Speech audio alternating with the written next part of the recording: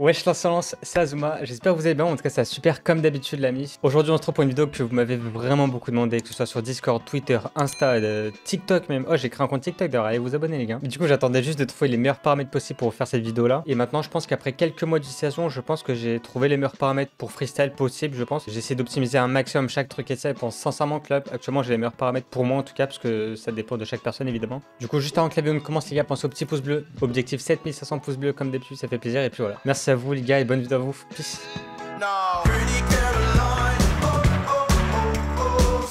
Avant que la vidéo ne commence, n'hésite surtout pas à mettre mon code créateur Azuma dans la boutique Rocket League. Merci à ceux qui le feront et bonne vidéo à vous. Du coup, nous voilà en game, les gars, tout simplement. D'ailleurs, j'ai fait une nouvelle manette. Hein. Dites, vous me direz ce que vous en pensez. Il y a ma tête et ça, j'ai fait des petits mèmes. Ça change de couleur de ça. Il y a mes logos dessus et ça. Puis j'ai voulu faire un truc assez sobre avec des couleurs. Du coup, ça, passe plutôt crème. Enfin, bref, ça, je parlais surtout pour la partie Twitch. Pour ceux qui me suivent, maintenant, vous saurez que j'ai une nouvelle manette. Pour les lives extra, du coup, ça fait plaisir. D'ailleurs, je suis en live tous les soirs à partir de 19h30 toute la semaine, sauf le lundi et le mercredi. Je voulais vraiment vous faire cette vidéo le plus sérieusement possible parce que je sais que les settings, c'est quelque chose d'ultra important. Du coup, nous voici en game tout simplement. Tout d'abord, on va commencer par les paramètres les plus simples. On va commencer par catégorie. Donc, déjà, dans le gameplay, euh, moi, mon jeu déjà est en anglais. À peu près toutes les options sont dispositionnées pareil, que ce soit en français ou en anglais. Du coup, dans cette partie, il n'y a pas grand chose qui est important, à part l'unlimited boost en free play. Donc ça, en gros, ça vous sert à avoir le boost illimité en mode entraînement libre et le cross-platform play. Du coup, tout simplement, si vous êtes sur PS4 et que vous le désactivez, vous pourrez pas tomber des joueurs PC et inversement. Et franchement, moi, personnellement, je l'active, mais de temps en temps, je le désactive. Le boost illimité en free play, je vous conseille quand même de l'activer. Si vous voulez éviter les toxiques et ça qui vous spam dans le chat, ici dans text chat, vous enlevez ou alors vous mettez quick chat only, etc. Pour vous éviter d'avoir des mecs toxiques du coup. Et là, on commence à rentrer dans une des parties les plus importantes euh, selon moi. Bah voici ma caméra tout simplement. Donc euh, quelque chose d'ultra important, mais je pense c'est la chose la plus importante. Euh, le caméra check, faut vraiment l'enlever. C'est tout ce qui est tremblement de caméra. Vraiment, genre dès que vous faites un flic, il y a un tremblement de caméra. Dès que vous tapez la balle aussi. Je sais que j'ai un ami qui s'appelle Batou, c'est un joueur pro. Il, a réussi, je crois, à être genre top 100 mondial. Il joue avec cette option là, mais je sais pas comment il fait. Genre, je trouve ça vraiment trop dur. Désactivez-le, franchement, les gars. Ça pique les yeux ça vous déconcentre pour pas mal de choses. Ensuite, les FOV, donc le field of view, je vous conseille quand même de le laisser à 110. Parce que en dessous, après, vous allez rien voir et de ça. En 110, vraiment, vous avez pas le choix. Je vous oblige en tout cas à mettre ça. Ensuite, la distance, c'est comme vous voulez. Moi, je vous conseille 270. J'ai déjà essayé 290 et même moins, genre 240, etc. Mais pour moi, c'est le plus raisonnable, c'est 270. Après, vous pouvez mettre 400, mais bon, on va pas se mentir, c'est un peu compliqué comme ça. On dirait on joue à un jeu de voiture au Twitch, là, c'est mon pote, c'est assez compliqué. Du coup, ouais, rester en 270, je pense que c'est la meilleure option. La hauteur ensuite, donc euh, moi, je vous conseille 110 aussi. Avant, j'étais en 90, ça me gênait pas plus que ça, mais vraiment, au bout d'un moment, j'ai changé et je me suis rendu compte que c'était tellement mieux en fait de mettre 110 les gars. Donc euh, ouais, faites comme vous voulez. En tout cas, moi je vous conseille 110. évidemment, euh, mes, paramètres sont pas les meilleurs pour tout le monde. C'est les meilleurs paramètres pour moi en tout cas. Vous n'êtes pas obligé de mettre les mêmes, je vous oblige pas du tout. Mais euh, je vous conseille en tout cas, pour moi c'est vraiment les meilleurs paramètres. En tout cas, pour freestyle, pour moi, ils font partie des meilleurs paramètres. Ensuite, l'angle. Avant j'étais en moins 4. Je vous conseille quand même de laisser en moins 3. Tout simplement, c'est juste une question de préférence. Là-dessus, c'est vous qui voyez. Je vous conseille de mettre entre moins 4 et moins 2. Mais pas moins, pas plus. Pour moi, c'est vraiment le moins 3 le plus clean quoi. Ensuite, la rigidité, ça c'est vous qui voyez. Moi, je vous conseille quand même de mettre au milieu. Il y en a qui préfèrent de mettre moins il y en a qui préfèrent mettre plus. Euh, en bref, si vous mettez à 0, et eh ben vous voyez du coup que, que votre voiture vraiment genre bouge beaucoup dans, dans, l'écran, je trouve. Je saurais pas trop expliquer ce paramètre ça, mais là en bref, vous voyez que la voiture s'éloigne vraiment beaucoup dans l'écran, contrairement à si je le mets à 1.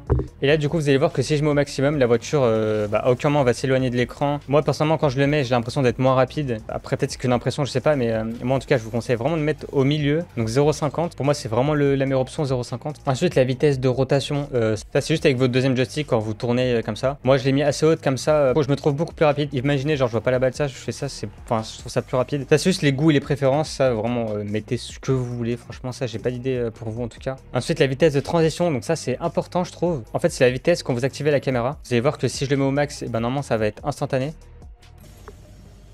Là, du coup, ouais, vous allez voir que c'est vraiment instantané. Moi, personnellement, ça, me dérange de fou. Je pourrais jamais jouer de ma vie comme ça. Pourtant, euh, c'est ce qui est le plus opti, mais je suis vraiment pas habitué. Mais euh, moi, je vous conseille quand même de mettre un truc au milieu. Après, ça, c'est vous qui voyez, évidemment. C'est comme la vitesse de rotation. Euh, moi, perso, je mets 1.4. Je trouve ça plutôt clean. Ça, fait pas mal aux yeux, c'est assez rapide et franchement, moi, j'aime bien. Et pour finir, inviter l'axe de rotation. Je crois que c'est ça en français, je suis, pas, je suis pas vraiment sûr. Avec votre joystick, du coup, pour la caméra, donc lui. Quand vous allez mettre vers le bas, ça va aller en haut si vous inversez. Et si vous inversez pas, ça va aller vers le bas, du coup. Pour ça, j'ai pas de conseil. C'est juste vous, c'est avec votre habitude de ça. Franchement, ça change strictement. On s'en fout peu. Du coup, troisième catégorie, euh, une des plus importantes, honnêtement. Donc les contrôles, les touches, etc. On va commencer par tout ce qui est sensibilité, etc. Et ensuite, on va aller un peu fouiller les contrôles. Donc je répète bien, avant que je commence cette catégorie-là parce que c'est une des plus importantes. Au début, c'est compliqué à comprendre, mais ensuite, vous allez voir que c'est vraiment des paramètres qui sont ultra importants. Les paramètres que moi, je vais vous conseiller, c'est uniquement pour du freestyle, pas pour de la ranked, etc. Vous pouvez jouer en ranked, moi personnellement, je suis monté grand champion 2 avec ces paramètres-là, donc vous pouvez voir quand même que ça change vraiment pas grand-chose. C'est juste vous et vos goûts, évidemment, comme d'habitude. Comme je le répète depuis le début de la vidéo, c'est la sensibilité de votre joystick. Alors moi, personnellement, j'ai mis 1,60 parce qu'avec 1,60, je me trouve littéralement beaucoup plus rapide que si j'aurais mis genre 1,20. C'est vrai que j'ai commencé le jeu en janvier 2020, donc il y a environ un an, un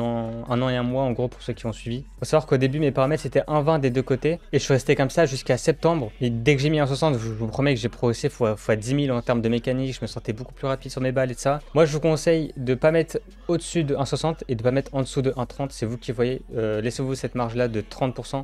En dessous, vous serez trop lent et au-dessus, serez trop rapide et vous, enfin, ce serait inutile. Ensuite, l'ARL sensibility, je vous conseille vraiment de mettre la même au-dessus. Donc ça, en gros, c'est la sensibilité euh, pour les ARN en gros. Pareil, marge de 1.30 à 1.60. Ensuite, la dead zone. Donc ça, c'est quelque chose d'ultra important. Faut savoir que le joystick, c'est il y a une zone morte en fait, tout simplement. Sur ma manette, vous allez voir que je vais tourner le joystick. Mes roues vous, vont toujours pas tourner. Là, du coup, mon joystick est vraiment en train de tourner et vous voyez que genre, il y a que à partir d'ici que ma voiture commence à tourner. Donc ça, c'est la zone morte. Donc du coup, il y a une dead zone d'environ 0,75%. Vous pouvez voir que genre dès que je tourne le joystick, les roues commencent à tourner qu'à partir d'ici. Et du coup, toute cette zone là est morte du coup. Et ça, vous pouvez le modifier dans les paramètres. Et plus vous mettez bas, bon, vous aurez des zones. Et là, du coup, dès que je tourne un tout petit peu le joystick, et ben les roues vont tourner aussi. Donc là, il y a pratiquement aucune zone morte. Je vous conseille vraiment entre 0,05 et 0,035. Il y en a qui vont dire qu'au-dessus des 0,15 c'est beaucoup trop, etc. Faut vraiment pas. Euh, moi personnellement, je vous conseille euh, dans le sens où, par exemple, pour les stalls, ça va être beaucoup plus difficile d'apprendre à faire des stalls et, et d'être constant avec, avec une dead zone assez basse, plutôt qu'avec une dead zone assez haute. Et en termes de ranked, ça, je pense pas que c'est dérange tant que ça. Je peux vous donner l'exemple de Seiko, qui est un ami à moi, qui a fait top 10 mondial dans plusieurs modes euh, du jeu, donc un des meilleurs joueurs au monde actuellement. Il est en 0,42 dead zone. Je sais pas comment il fait. Même moi, je déconseille honnêtement de, vous mettre en 0,42 dead zone. moi, je vous laisse quand même une marge de 0,35 à 0,05. Et évidemment, plus vous aurez une dead zone la plus basse possible, plus vous serez rapide, plus, plus vous serez précis. Mais plus ce sera dur aussi, ça il faut quand même euh, se le dire. C'est beaucoup d'entraînement et de ça. Je galère encore un peu parce que c'est un paramètre que j'ai changé il y a 2-3 jours, mais je me sens littéralement beaucoup plus rapide avec. C'est vous qui voyez. Je vous laisse une marge comme des 0,10 à 0,35 comme je l'ai dit, et puis voilà. Ensuite, la Dodge Dead Zone, donc ça, je crois qu'en français, c'est genre la zone morte de l'esquive ou quelque chose comme ça. Je mettrai au montage si j'ai juste ou pas. C'est tout simplement pour éviter tout ce qui est euh, kebab. Donc, euh, je, parle un peu chinois maintenant pour ceux qui jouent pas au jeu, mais euh, tout simplement, en bref, un kebab, c'est quoi? Un kebab, c'est genre par exemple, vous, vous, voulez faire une aérienne et genre, ça fait exprès, vous faites ça, ça s'appelle un kebab. Au lieu de faire ça, et du coup, euh, des fois quand vous êtes en game, ça c'est vraiment trop chiant. C'est quelque chose qui est un peu compliqué à comprendre, mais pour faire bref, plus vous le mettez haut, plus vous allez devoir pousser votre joystick loin pour faire un dash et, euh, inversement du coup. Moi personnellement, je vous conseille de mettre à 0,69, 0,70, c'est pareil. C'est un paramètre en soi qui est pas vraiment important, j'ai envie de dire. C'est plutôt vous et vos kebabs. Du coup, si vous en faites assez souvent, il faut vraiment que vous trouviez votre propre paramètre par rapport à ça. Ensuite, niveau vibration, je vous conseille quand même de les désactiver, ça me paraît important. Ensuite, le reste, c'est pour clavier souris, donc euh, en soi, on s'en fout un peu. C'est pas ce qui vous intéresse dans cette vidéo. Et là, du coup, on va commencer au paramètre des touches. Donc, c'est littéralement le plus important, je pense. Alors là, je vais vous expliquer personnellement mes choix, pourquoi je choisis ces touches-là et pas d'autres. Puis je vais essayer de vous conseiller. Sauf que si vraiment vous avez des touches éclatées et que vous vous rendez compte, euh, n'hésitez pas à changer, franchement. Plus vous changez tôt, plus ce sera facile pour vous de, réapprendre. Euh, franchement, en 3-4 jours de tryhard, ça revient totalement. N'ayez pas peur de changer de touche, c'est ça que je veux dire. Ça va vraiment vous vous aider à progresser de fou dans le jeu. Donc on va mettre les touches par défaut, comme ça je pourrai vous montrer étape par étape quelle touche j'ai changé. Donc pour l'instant tout ça c'est normal. Euh, le boost de base c'est sur B, donc sur rond sur PS4 du coup. Donc moi j'ai une manette Xbox, du coup euh, j'ai les touches Xbox, mais je vais essayer de vous traduire un peu pour les PS4, etc. Alors moi personnellement j'ai décidé de changer ma touche de boost sur R1, donc sur RB sur Xbox, euh, tout simplement parce que sinon il faudrait que je joue en extrême claw ou je devrais appuyer en même temps que je saute. Faut savoir que la question, est-ce que Azuma tu joues en claw ou en extrême claw Faut savoir que ça on m'a posé la question genre des dizaines de fois. Oui je joue en extrême claw et en mais sur les jeux FPS type euh, Call of Duty, etc. Sur Rocket League, je trouve que ça sert vraiment à rien de jouer en clos, vous pouvez vraiment vous en passer. Il faut savoir que le clos aussi, c'est pas bon pour les doigts. Ça peut créer des problèmes et ça, donc je vous déconseille. Du coup, le boost, de le mettre sur rond, j'ai mis directement sur R1 ou sur RB. Je préfère vraiment ça pour le coup. Ensuite, donc euh, les dérapages, donc le power slide, euh, je vous le conseille quand même de le mettre sur L1 et le R aussi. Pourquoi? Parce qu'en fait, quand vous êtes en l'air, la touche de dérapage ne vous, ne vous servira strictement à rien et justement, elle est rien quand vous êtes au sol. Donc vous pouvez ban les deux sur une seule et même touche et je vous conseille vraiment de faire ça. Peu importe la touche, même si c'est pas même si pas L1, je vous conseille vraiment de le faire. Euh, moi personnellement, j'ai mis L1 sur les deux parce que c'est une touche qui est quand même vraiment importante, je trouve. Et c'est la touche avec laquelle je suis le plus à l'aise actuellement. Savoir que moi j'ai pas changé grand chose dans mes touches euh, depuis que j'ai commencé le jeu. Dès que j'ai commencé le jeu, j'avais fait des touches que j'avais trouvé moi-même et euh, que je trouvais bien et il s'avérait que genre il y a pas mal de joueurs pro et ça qui ont les mêmes. Donc je pense que j'ai fait un peu les bons choix donc ça fait plaisir. Ça changez pas, laissez de base, je vous conseille quand même. Ensuite tout ça, il y a rien qui change. Donc le tonneau droit et le tonneau gauche. Donc ça c'est pour freestyle ou pour faire des mécaniques type euh, speed flip ou half flip. Donc le tonneau droit, c'est ce qui me sert principalement à faire beaucoup de freestyle, à faire des doubles, triple reset, etc. Je le mets actuellement sur carré, donc X sur Xbox. Confondez pas évidemment.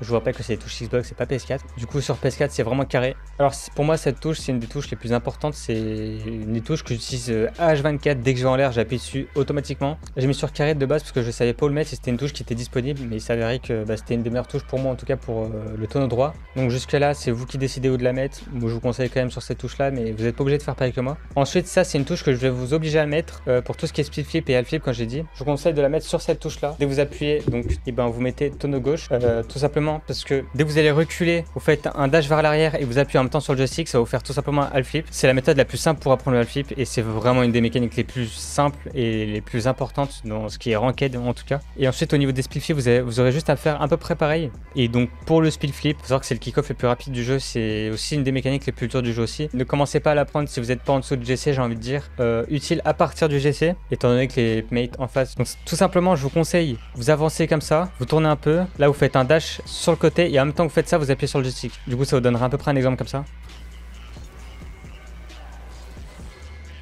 Là, je l'ai mal fait, mais euh, en bref, en gros, c'est ça. Et faites l'inverse si vous préférez jouer en tonneau gauche, etc. Inversez les deux. Euh, c'est quand même important de le faire, je trouve.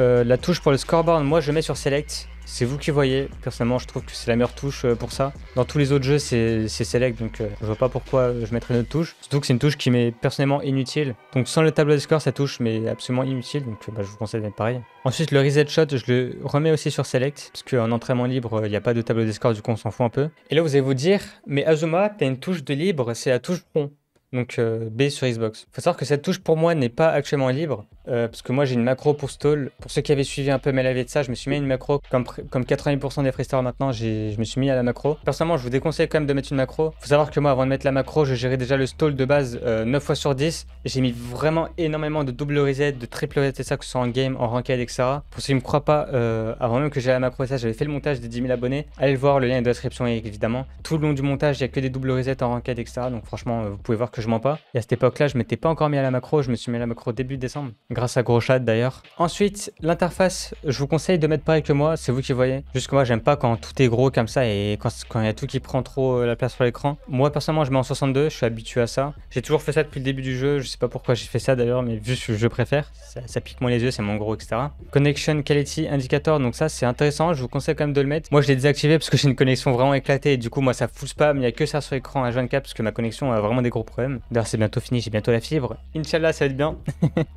Force défaut Team Color, ça, je vous conseille de le laisser activer. Tout simplement, lorsque vous êtes en tournoi ou même en game extra et que vous tombez contre une équipe, des fois l'équipe ont une couleur par exemple très flashy, type rose, vert et ça. Et moi ça me pique les yeux, j'ai horreur de ça. Et ça du coup quand vous appuyez sur cette option, ça force les couleurs euh, des équipes par défaut, donc orange et bleu. Franchement ça dérange beaucoup moins de ça, donc moi je préfère pas seulement. Comme j'ai dit, c'est les goûts et les couleurs, c'est vous qui voyez. Ensuite, le reste, on s'en fout un peu, euh, à part Matrix. Mais si vous voulez mettre la vitesse de la balle en km heure ou mph, euh, donc en métrique ou en impérial unit. Donc en unité impériale ou métrique, c'est vous qui voyez. Donc en gros, c'est km heure ou mph pour euh, ceux qui n'ont pas trop compris. Et du coup, voilà. Ensuite, niveau vidéo, donc ça, ça va concerner principalement les joueurs PC. Mais pour les joueurs console, vous pouvez, vous pouvez quand même modifier certaines choses, dont la chose la plus importante pour tous les joueurs console, je vous, je vous conseille, mais genre x 10 000 de désactiver la synchronisation verticale. Vraiment, désactivez-le, c'est ultra important Il y en a plein qui m'ont dit, qui m'ont conseillé de vous dire ça dans, ces vidéos. Désactivez-le. Donc ensuite, pour tous les joueurs PC, ça dépendra tout simplement de votre config et de vos goûts. Euh, personnellement, moi je joue comme ça euh, depuis pas longtemps parce que je trouve que le jeu est quand même vachement plus beau. Et euh, mais voilà, je peux pas me permettre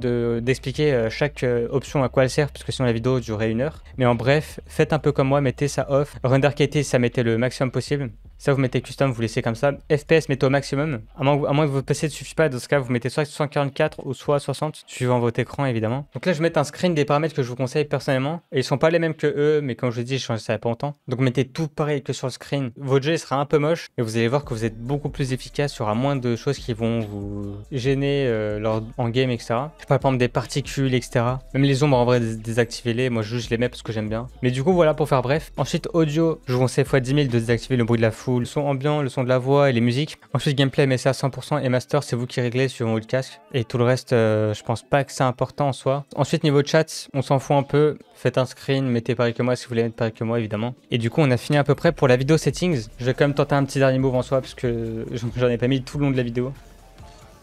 On va faire un petit ceiling aussi de étape. Et ça part directement du premier coup. ne serais-je pas en fait le meilleur freestyler de, France en fait, tout simplement les gars? Évidemment je rigole, c'est faux. En vrai ça va, on va tenter un petit dernier.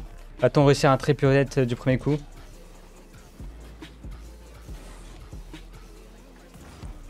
J'aurais mis le triple OZ du premier coup, j'aurais câblé. Hein. Bon, ça, ça reste un double OZ, ça fait quand même plaisir. en vrai, ça va, il était propre. Mais bon, on commence à être habitué maintenant, les gars.